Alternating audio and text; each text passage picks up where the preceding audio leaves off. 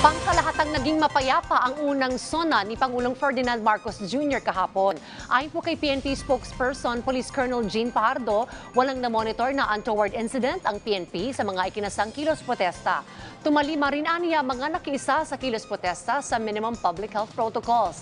Nagpasalamat naman ang PNP sa publiko maging sa ilang progresibong grupo sa kooperasyon na kanilang ibinigay na naging daan para maging mapayapa ang sona.